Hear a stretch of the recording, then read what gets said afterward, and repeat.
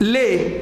إن قال الشيخ طلع يطلع فتوى عمياني يقول الموالد الاحتفال بالموالد شرك.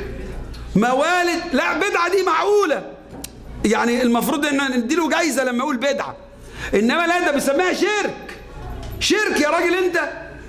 توصل للشرك. يعني كبيرة قوي خلينا نخلص من موضوع البدعة دي البدعة اللي قرفونا بيها دي. النبي صلى الله عليه وآله وسلم ربنا قال عليه في القرآن كده عيانا بيانا جارا نهارا وما أرسلناك إلا رحمة. مظبوط؟ ومعانا آية قرآنية بتقول قل بفضل الله وبرحمته فبذلك فليفرحوا هو خير مما يجمعون. صلوات على محمد وعلى محمد. ولو نحاسب القصة بتصرف النبي إحنا مقصرين. النبي كان يحتفل بميلاده كل أسبوع يوم الاثنين كان بيصوم. يسأل ليه بتصوم يوم الاثنين في صحيح مسلم؟ يقول هذا يوم ولدت فيه.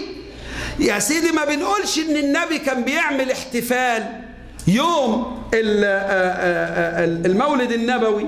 فمش هنقول سنة بس ما هوش بدعة. لأن إحنا بنفرح إحنا افرض أنتوا عارفين السعودية. عارفين عاملين السعودية عاملين مشكال في إيه؟ في اشكال في كلمة عيد. يقول لك اليوم الوطني للمملكة العربية السعودية. إنما مش العيد الوطني. المصريين المغفلين بيسموه العيد الوطني. أيوة السعوديين يطلعوا لك لا لا لا النبي قال إحنا عندنا عيدين بس. عيد الفطر وعيد الأضحى. فيقول لك اتحايل على الموضوع ده. بلاش كلمة عيد وسميه اليوم. يعني بقى حتى سلمان العودة صديقك حبيبك الشيخ سلمان العودة طلع ديك النهار قال الاحتفال بعيد الزواج وعيد الميلاد للأشخاص لا يسمى بدعة. قال الشيخ هذا الأعمى لعن أبوه لعن أبو سلمان العودة أو سعودي زيه يعني لكن ما عجبوش كلامه ليه؟ لأن هو بيقول دي مسألة مناسبة الواحد كل يوم ما يفتكر السنة لما يكون مبسوط من مراته يعني.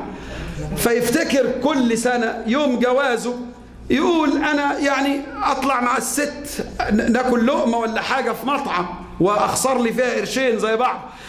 يقول لك دي بدعة إيه دخل البدعة هنا في الموضوع؟ أو يوم ميلاد الولد الصغير نجيب كيكة تبقى حرام لأن هم عايزين يغلقوا الدين حسب ما الشيخ الغزالي بيقول إيه؟ الفقه البدوي. عارفين جماعة بدو؟ زي ما انت عارفين واحد على النت حاطط إيه؟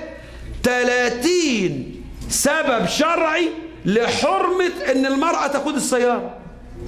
30 قاعد يعدهم 30 طب يا عم انت بتسمي المولد النبوي الاحتفال بيه؟ قاعدة زي هدا حلو. ناس ستات محجبات محترمات وناس محترمين جايين يذكروا رسول الله بالخير. إيه هنا الحرمة؟ طب أنا عايزك بقى يا بتاع الحرمة يا بتاع البدعة عايزك تسترجل بقى وتقول لنا صلاة التراويح مش بدعة ليه؟